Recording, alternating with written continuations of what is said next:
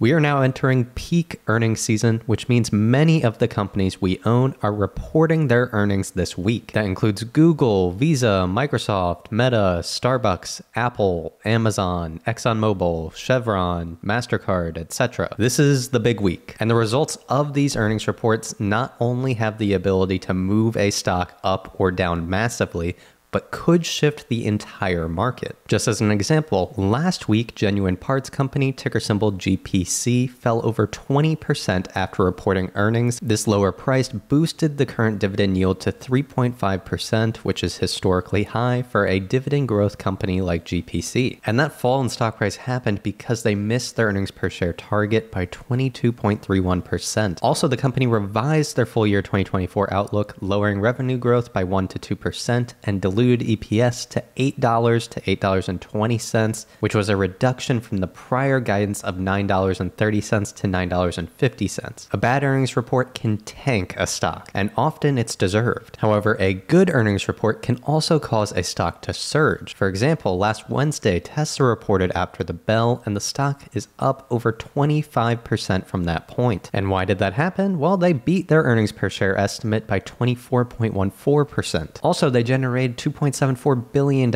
in free cash flow in the quarter, which was their highest in two years. And on their earnings call, they announced key details around their 2025 and 2026 product and business rollout for their robotaxi and new vehicles. These were key details which were left out of their more product focused and spectacle focused We Robot event. So if you're investing in individual stocks, you really should pay attention to what happens on earnings and what these companies say in their earnings calls. In today's video, I'm going to share 15 of the most important stocks, in my opinion, that are reporting earnings this week. These are companies that I own in my portfolio or have on my watch list. I'll share what their estimates are so that you know later this week whether or not they hit or missed. And finally, I'll give a brief stock analysis on each of the companies. Let's roll the intro.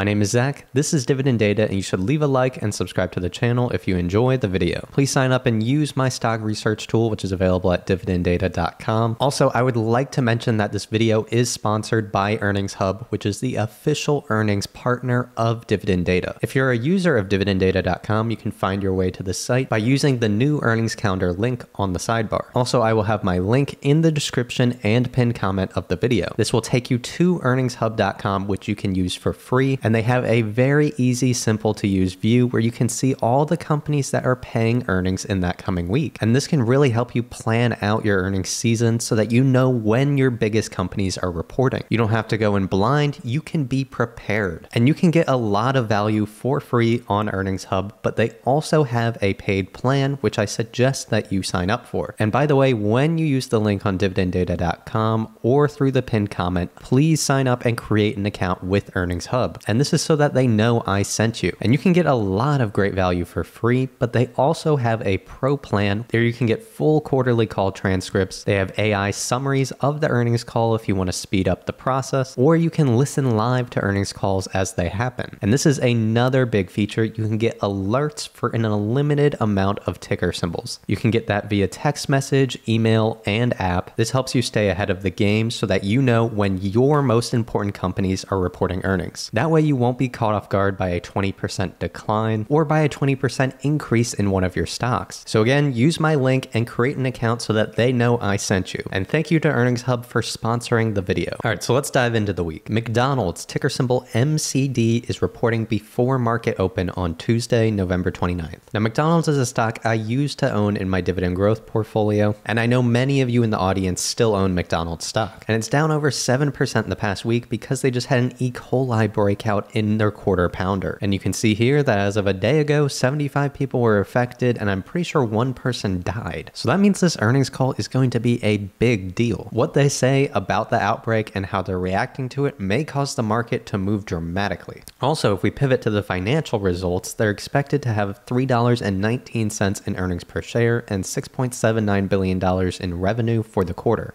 So if they miss on earnings and investors don't like what they hear about the E. coli breakout, then McDonald's stock could tank. And if that does cause a large sell off, then I would turn on my long term investor hat and start to look at it with more of that lens. Because McDonald's is undoubtedly one of the highest quality brands in the world and will be around for a long time to come. But the thing is, McDonald's was close to trading at their all time high valuation. But if we start to move back down to those July prices of around $245, then McDonald's may be one worth adding to. The company has a long history of earnings growth, and it has historically been a dividend growth machine with a 10 year compound annual growth rate of 7.61%. That's a sustainable payment too, with a free cash flow based payout ratio of 62% and 53% based on net income. And for older investors, McDonald's really is a great combination of yield with growth because the dividend yield is 2.42%, which is not nothing. So if you could get McDonald's closer to that 3% yield, then that's a pretty reliable dividend growth stock. And prior to this recent outbreak, Wall Street analysts were projecting McDonald's to grow over the coming years. EPS is expected to grow at 8% in 2025, 9% in 2026, 6% in 2027, and 10% in 2028. And with the recent fall in stock price, is actually trading 5% below the consensus price target of $308.58. Another stock I want to cover on Tuesday after market close is Google, ticker symbol GOOGL.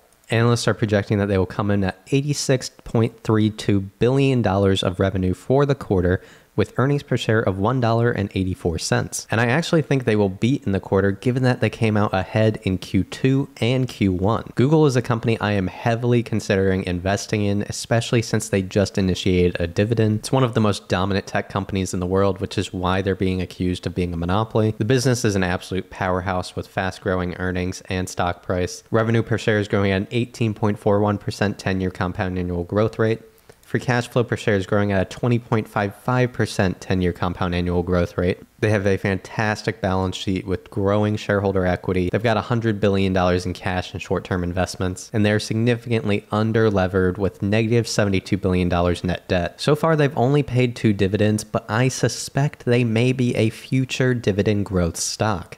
The next stock I want to share is Visa, ticker symbol V. They report after close on Tuesday. This is the number one stock in my personal dividend growth stock portfolio. Historically, this is a company where every single quarter they beat and raise guidance. However, in Q3, they missed revenue by 0.22% and they matched EPS estimates of $2.42 per share. And I used that somewhat poorer earnings report as a buying opportunity where I loaded up a lot of my Visa stock position. Analysts are projecting that Visa will report report $9.48 billion of revenue for the quarter and $2.58 of earnings per share. And if they hit those numbers, then it's a continuation of Visa's long history of growth. And you guys on this channel, you know that I love Visa stock. They have a fantastic business model with crazy high margins. They have very low capital expenditures, so the company just generates free cash flow like a monster. And they pretty much give most of that back to shareholders through share repurchases and a growing dividend payment. The Visa dividend has a 10 year compound annual growth rate of 17.92%. The two most recent increases were 15.56% and 20%. And this dividend payment is super sustainable at a free cash flow based payout ratio of 19%. And then on Wednesday, Automatic Data Processing, ticker symbol ADP, reports earnings before market open. ADP is another popular dividend growth stock and one of the smaller stocks in my portfolio. They are expected to report revenue of $4.77 billion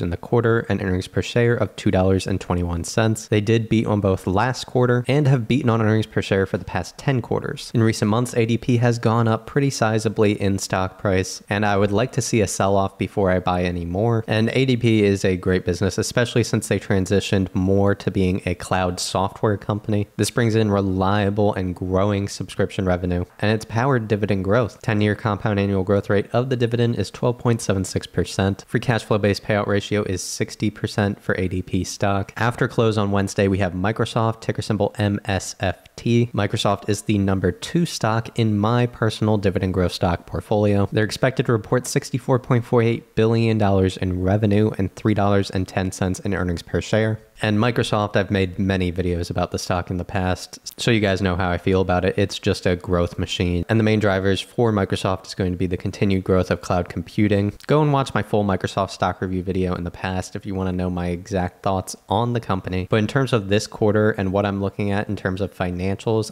I want to see earnings per share growth re-accelerate. For the past year, they've been hovering around this $2.95 mark. And to be fair, revenue growth has been high in that time, but they've been increasing expenses. And at least analysts right now are expecting earnings per share growth to re-accelerate with a new all-time high of $3.10. So I will be paying attention to that. Also after close, we have Meta, ticker symbol META. This is another big tech giant, which is a new dividend payer. Analysts are projecting $40.13 billion in revenue for the quarter and $5.21 of earnings per share. And this is another stock that I am just kicking myself that I did not buy during the fall 2022 crash. At that time, I was much more focused on buying Microsoft and starting my position in that, which was also great. But Meta was a no brainer buy at that time. And since then, the company's earnings have exploded back to all time highs, and they have started a dividend payment, which I suspect may be a dividend growth payment in the future. That remains to be seen, but I'm certainly considering adding Meta to my portfolio over the long term. We also have Starbucks, ticker symbol SBUX, reporting earnings after the bell on Wednesday. This is a high quality brand and company which is going through a little bit of a turnaround at the moment. They had a terrible Q2 earnings, which led to the CEO being fired. I covered that on the channel and I used that to buy a small stake in the company, which has turned out pretty well. But the reason why it has turned out well is not yet due to business results. It's actually because they poached the CEO of Chipotle to become the new CEO of Starbucks, and the stock surged massively after that. And he recently just announced a little bit of his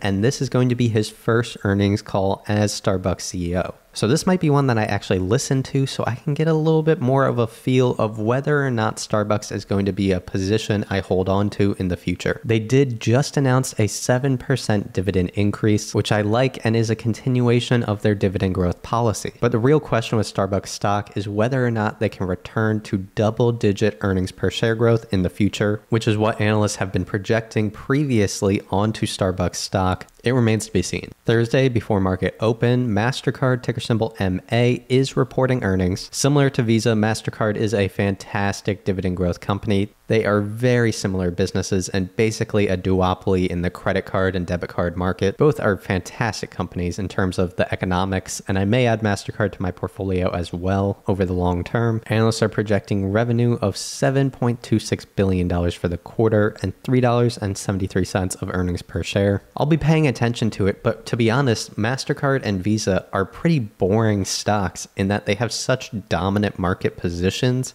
and this whole tailwind of transitioning to more digital payments that's been going on for decades. I don't want to be repetitive, but these are just very high quality businesses. And then a little more controversial, we have Altria Group, ticker symbol MO, reporting before market open on Thursday. This is one of the largest positions in my dividend growth stock portfolio, and it is my highest yielding stock and highest dividend payer by far. For the quarter, analysts are projecting $5.35 billion in revenue and $1.35 in earnings per share. And if they hit that number, that would be 3% growth of earnings per share year over year for Altria Group, which really is completely fine because I'm not expecting high growth out of this company. It's more of a low valuation, high yield stock where I just want reliable, low single digit growth. I mean, if growth reaccelerated, my returns would be fantastic, but I don't need that to happen. The main factors I'm going to be paying attention to will be their new smoke free products, including NJOY. This is their new vape product, and they've been rolling this out over the past year. So I'll be paying attention to the progress of that. And then I will also be paying attention to the progress of their on nicotine pouches both of these are growth businesses for the Altria group. And in terms of negatives, I'm going to be focusing on the volume decline of cigarettes. And as long as that stays steady to historical levels, that's completely fine. It's known that this is a declining business. The volumes of this will continue to decline, but they continue to raise prices in order to offset that and maintain their profitability in that product category. So with Altria, I just want to see slow continued growth of earnings per share. And then that trickles down to slow growth of dividend per share. They just announced a 4% dividend increase increase for the Altria Group, and they pay out the majority of their cash flows as dividend payments with a 75% based free cash flow payout ratio. And even with this recent surge in stock price, the current dividend yield is 8.21%. If you're looking for reliable and growing high yield dividend stocks, then the Altria Group, in my opinion, is one of the best you can pick. I was buying it closer to a 10% starting dividend yield, which is crazy when you consider that this is a stock where the dividend is growing at above 4% a year. And then Thursday, after the bell, we have Apple, ticker symbol AAPL, reporting earnings. I own Apple. We all own Apple, one of the highest quality businesses in the world. And I'm not sure if it exactly is right now, but it's in the conversation as most valuable company in the world. Right now, it's a horse race between Apple, Nvidia, and Microsoft. And the reason why Q4 will be important for Apple and the earnings call more specifically is because we're going to get some information about the new iPhone launch and how they think it's going. Now, the full financial impact of that iPhone cycle will not be till Q1 2025, but we're going to get some context about it on the earnings call. And for Q4, analysts are projecting $94.41 billion of revenue and $1.60 of earnings per share. And I haven't bought more Apple stock since I'm pretty sure 2021. And the reason for that is that growth has slowed at the company. Earnings per share growth has basically been flat. And the only reason it's increased at all is because of the massive share buybacks. Apple is still buying back over 3% of their shares every year. And last fiscal year, that was $77.5 billion. And Apple is an extremely high quality and dominant business, but they are looking for that next growth opportunity. The hardware product of the iPhone does not seem to be a growth business moving forward. They've kind of hit their ceiling, it seems like. And they've been pivoting more to monetizing based on services and app store fees and all of these things. People have been wondering if AI and their new Apple Intelligence will be that next thing that puts them over. As someone who follows what's going on in AI, I'm kind of disappointed with the products they've put out so far. They don't seem to be a leader. But then again, they might have some stuff going on behind the scenes because Apple likes to reveal it at the last moment when it's perfect and about a launch. So maybe something like that happens in the future, but we'll see. And then after Apple, we have Amazon, ticker symbol AMZN. Again, one of the best big tech companies in the world. Not a dividend growth company as they have a historical practice of reinvesting most of their cash flows into growth. However, since 2023, they have focused on juicing their earnings per share, and that got the stock price back out from the fall 2022 crash to all time highs. And over the long term, Amazon's just going to be a continued killer business. And you'll hear people talk about how these big tech companies are overvalued, but I really just don't think they're paying attention to the business realities. These are the most dominant companies in the world. They have great financials and great balance sheets. And when you're analyzing stocks, you really always have to go back to the business. You're valuing the business. It's not just financials in isolation. So for Q3 2024, analysts are projecting $157.14 billion of revenue and $1.14 of earnings per share. And that would be 21% growth of earnings per share year over year. And then after the bell, we have Intel, ticker symbol INTC. And those of you that have followed the channel for a long time, you know that Intel was one of my biggest investing mistakes. However, I have since learned from my ways and I have avoided the stock like a plague in recent years. However, at some point, the turnaround will start to happen. To give a quick recap, their earnings per share have just completely collapsed in 2022, and it, it's still just hideous. And during that time of their cash flows evaporating, they decided it was a great idea to invest in the future in domestic manufacturing, and they ramped up capital expenditures by 10 to 15 billion dollars a year more. In 2023, they spent 25.75 billion dollars in capex, which made free cash flow negative 14 billion dollars. And this has not gotten better yet. Last quarter, they had negative 3 billion dollars in free cash flow, and the one prior, negative 7 billion dollars. And strategically, you can make the argument that they're doing the right thing as they're basically trying to become like US version of TSMC where they manufacture for third parties but that business barely exists yet. So financially it's just hideous to look at. But Intel will eventually start to turn around when they reduce their capex spending and start to grow these new business units. Also not to mention they had completely missed the AI wave entirely similar to how they missed mobile. They're just getting shellacked across the board in terms of CPUs in competition with AMD and then their data center business is just getting killed because all of that new data center spend is going towards parallel computing and GPU focused systems to run and train AI models. So all of that spending is going to NVIDIA So Intel is just getting killed. So maybe a year or two from now, Intel will start to turn around but it doesn't seem like it's happening this quarter. For Q3, analysts are projecting $13 billion of revenue and negative 2 cents of earnings per share. That's not good. That's not even including the capex spending. So their free cash flow is just so their free cash flow will so their free cash flow will likely be deeply negative again. And to be honest as I'm looking at this, we know that they cut their dividend by 66%, but I I don't know why they don't just cut it completely. I feel like you have to go all in on your new approach. They could use this money. And then Friday before market open, we have two of the oil giants which I own in my dividend portfolio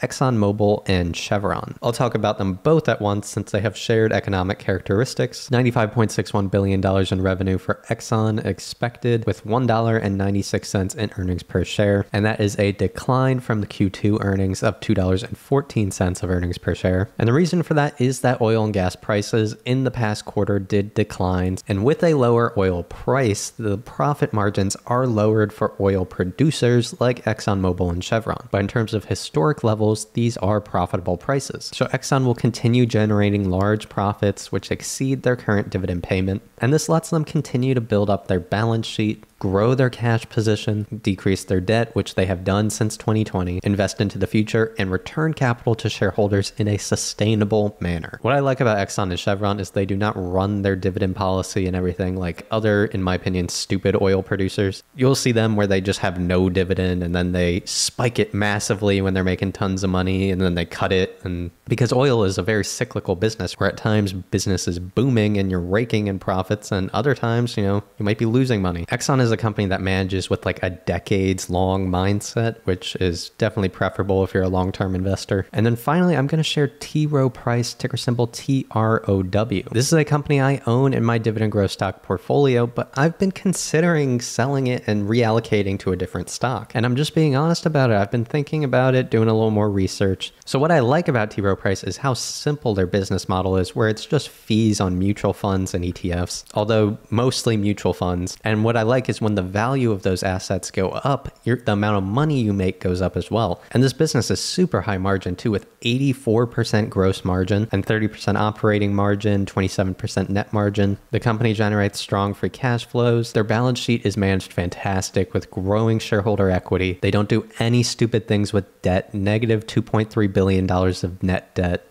the business is just pretty simple and it's well run financially. They return capital to shareholders via dividends. It's a quarterly payer that continues to grow over time, and they have large special dividends after they build up a large amount of cash. They'll redistribute it all at once. And the last time they did that, their stock surged massively. So that's part of the reason why I don't think I want to sell T. Rowe Price is because their earnings per share is starting to uptrend again, which makes sense with the market going up. So I know eventually they're going to do one of these dividend payments again. So I think it's somewhat inevitable that the stock price will surge. And it is undervalued at current prices, with it 25% undervalued given the consensus price target among analysts of $139. In fact, it's currently trading below the lowest price target on Wall Street of $113. That said, the biggest problem with T. Rowe Price is that people aren't buying mutual funds as much as as they used to. The fees are higher, and all the money is moving towards passively managed ETFs. And I've been looking into this. T. Rowe Price is growing in ETF business, and it's growing, but they're still having net outflows in those mutual funds, and the growth isn't offsetting that. And as I was mentioning, ETFs do have lower fee structures, so even if they grow that business, it won't be having the exact same profit margin as the mutual fund business. So anyway, I've been doing some research on it, and I might make a full video in the future. Analysts are projecting 1.83 billion dollars of revenue for the quarter and $2.28 of earnings per share, and that's just under 10% growth year over year. But I will probably listen to this earnings call because I want to just learn more about it in general and whether or not they're still having net outflows in mutual funds with the improvements in the market. And I guess also how that ETF business is growing as well. So, anyway, those are all the stocks I will be paying attention to during this earnings week. Please let me know in the comments if you enjoyed the video, and I'll make sure to do more of this style in the future. And remember that Earnings Hub is the official earnings partner of Dividend Data, so please use my link in the description and pinned comment and create an account with them, then you can get access to all of the great tools I showed throughout this video. Please leave a like, share, and subscribe to the channel and sign up for dividenddata.com if you want to use the stock research tool I've been showing throughout. And this is at the end of the video and it's a little bit of a tease, so only my hardcore viewers will be here.